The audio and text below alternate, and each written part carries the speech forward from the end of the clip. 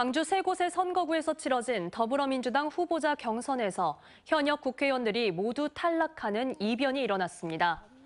광주 동남갑에서는 민주당 당대표 정무특보인 정진욱 예비후보가 현역 국회의원인 윤영덕 의원을 제쳤고 광주 북구 갑에서는 정준호 변호사가 현역인 조우섭 의원을 광주 북구 을에서는 전진숙 전 청와대 행정관이 현역인 이형석 의원을 각각 이겼습니다.